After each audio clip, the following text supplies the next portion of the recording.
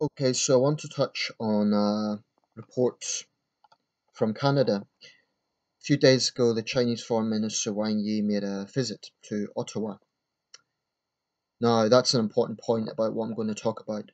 This event that I'm going to discuss, or situation I should say, was in Ottawa, okay? Not Beijing, Ottawa, the Canadian capital. Anyway, um, a Canadian journalist, Amanda Connolly, um, put a question to Wang Yi about human rights, um, specifically about the disappearance of Hong Kong booksellers, which remains very, um, let's say, it's a big mystery. We don't know what's happened to these people, but they were critics of the Communist Party in China. So, you know, take whatever speculation you will from that. But the point is, it was a completely valid question. Anyway, um, Wang Yi was clearly annoyed. Um, and that's interesting actually, because very often communist officials um, are quite good at keeping their composure. They're always arrogant, but they're good at keeping their composure. Okay? Uh, on this occasion, he looked quite rattled. And he said, I think your question is full of prejudice and uh, this is arrogant and uh, you know, he went into the usual line about uh, you don't understand Chinese culture and this is the ancient Chinese civilization, all that sort of stuff. This is the same exact line that the communist regime uses every single time they're questioned about this. And it's utterly phony, utterly phony. He was talking about human rights being enshrined in the Chinese constitution. I, I'm not that familiar with the Chinese constitution. and we need to have a look at it. But whether they are, I mean, if they are, it's sort of irrelevant because the CCP has utterly disregarded them. This has been a party that has ruthlessly crushed dissent. Yesterday was actually the 27th anniversary of the Tiananmen Square crackdown. They are profoundly dishonest. Um, they have ruthlessly crushed dissent. They have been guilty of torture, mass pogroms, mass death. Um, goes on and on and on. This party has probably more blood on its hands than any other political party in human history. Um, I'm not going to pretend that I'm neutral in this. I have contempt for the CCP. I have contempt for their sheer bloody arrogance. What annoys me about this is that he was accusing the journalists of being arrogant, right? But this was in Canada. Now, Canada is a democracy. Canada values freedom of the press, freedom of speech. Importantly, in this case, the government of Justin Trudeau, and this is a good side of this, has stood up to the Chinese and they have expressed dissatisfaction. Now, that might sound like polite language, but I think that's actually a lot of the time, Western governments, I think, are way too soft with China.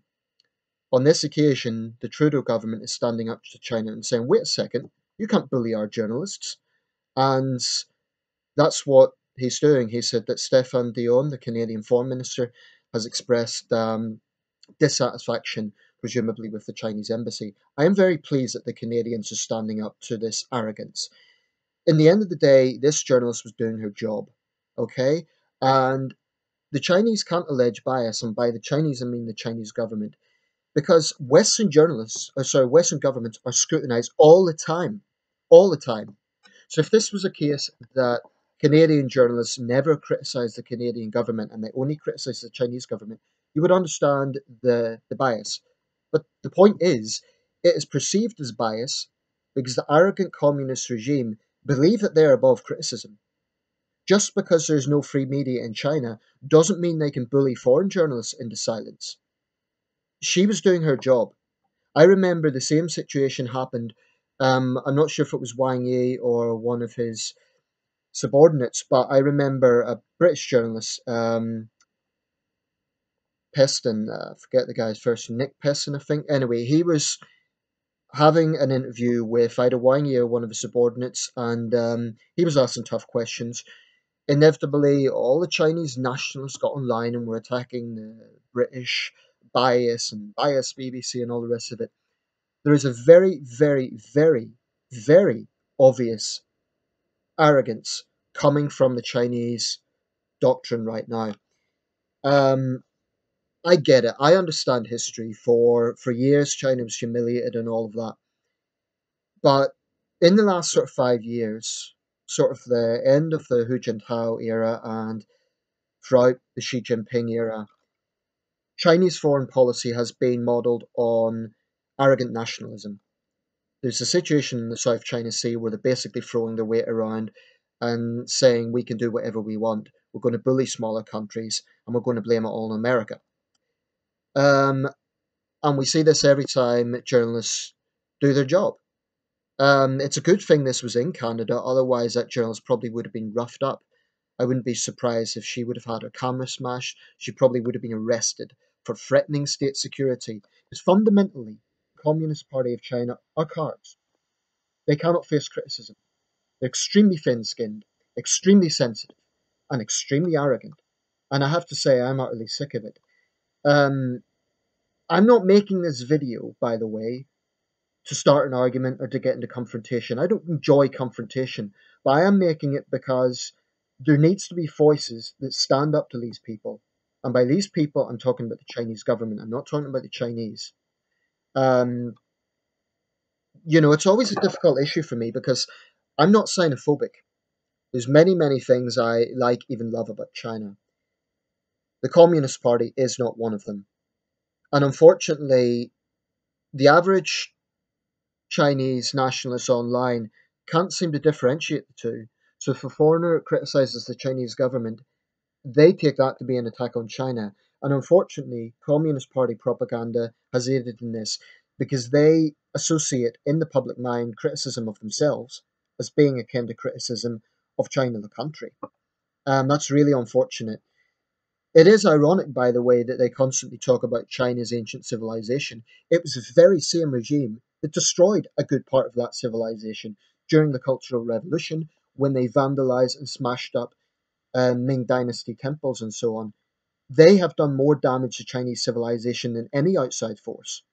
So I'm so sick and tired of their arrogance and their hypocrisy. Just because journalists in China don't have freedom to scrutinize the government doesn't mean they can bully foreign journalists. And I'm very pleased that the Can- Canadian government is having some backbone in this issue and standing up for this woman because she was only doing her job. Okay? Um, the questions, in my opinion, were completely legitimate. If he doesn't like his questions, tough. You know, in China, Communist Party officials get a completely free ride from the media because that's the way it's designed. Um, the media in China is 100% controlled by the Communist Party, so there is no free media. Um, the only sort of form of scrutiny whatsoever is internal. It's from the party mechanism, and very often that's designed basically to take out political opponents. Um, people will say, "Oh, you're very anti-China. You're very biased towards China." I give credit where credit's due. Now, what Wang Yi said about oh, the, the population has risen, we've lifted hundreds of millions out of poverty, etc. None of that excuses the human rights abuses, and none of that excuses this idea that you can shout down foreign reporters. You know, Western governments are scrutinized all the time, all the time. So, what the hell makes the Chinese government think that they're above criticism? How arrogant. And for him to call her arrogant, What's the basis for that? She was doing her job. Where's the arrogance? You know, um, I hope the Canadians really hold their ground on this, and I hope they. I wouldn't go so far as say putting trade deals on hold or anything like that, but it is important that they stand up for their journalists.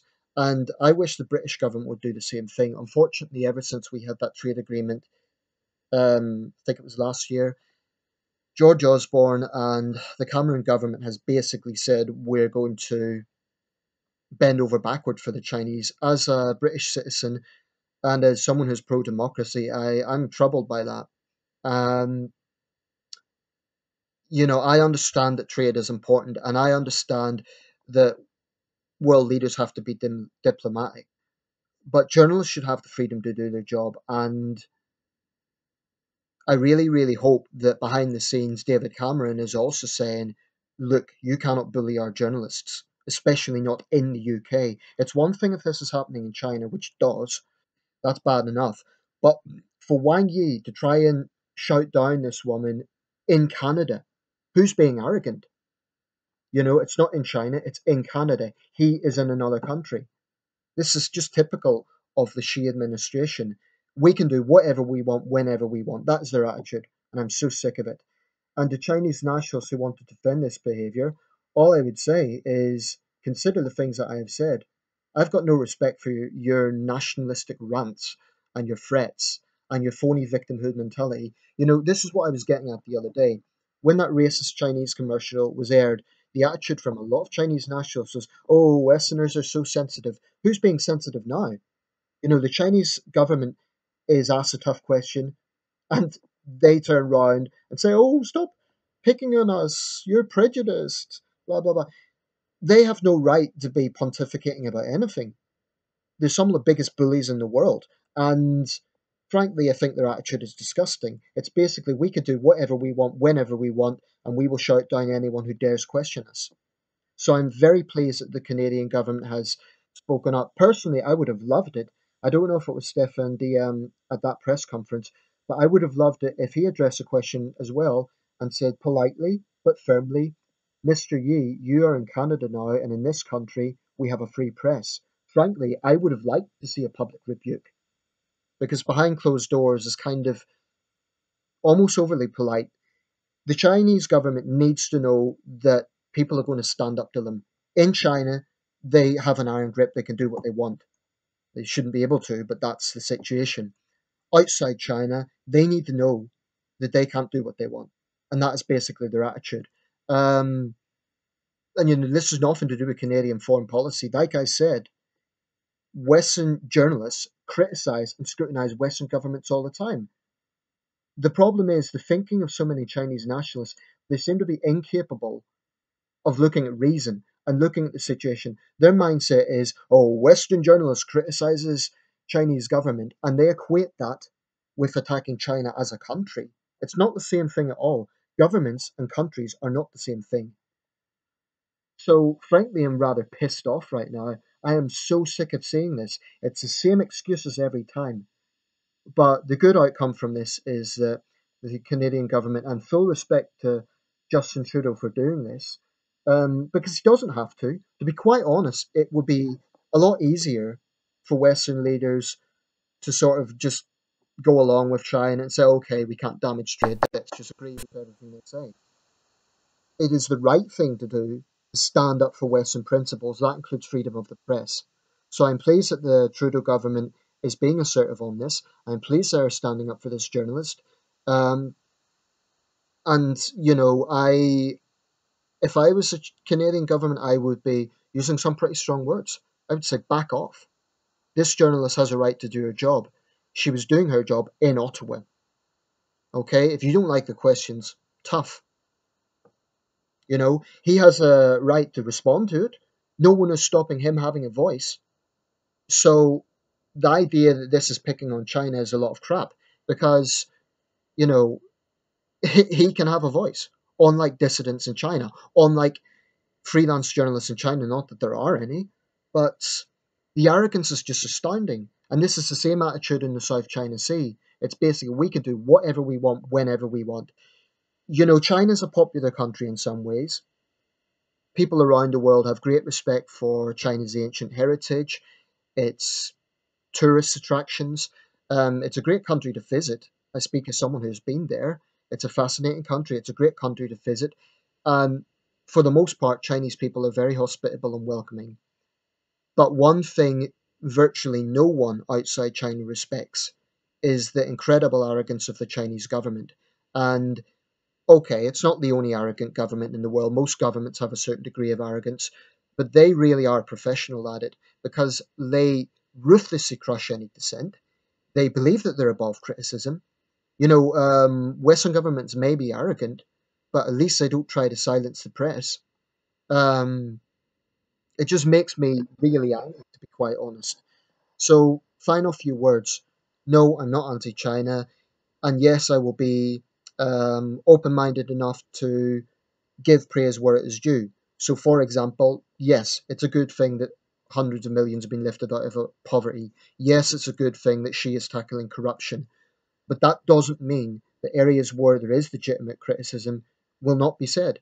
Because who do these people think they are? It just makes me so mad that they just think they can do whatever they want whenever they want. Say what you want about Western governments, but at least, at least, Western media has, on some level, a space to criticize them. I mean, the fact of the matter is, if a journalist asks, I'll give you an example. The other night, the EU referendum in Britain, members of the public, members of the public, and and the journalist um, Faisal Islam was asking the Prime Minister of the United Kingdom some very direct, very tough questions.